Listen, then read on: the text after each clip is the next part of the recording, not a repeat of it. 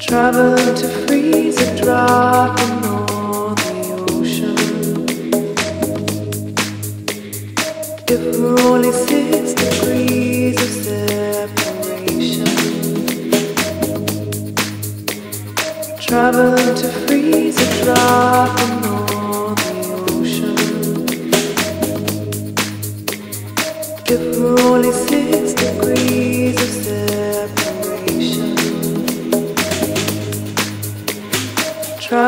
to freeze a drop in all the ocean.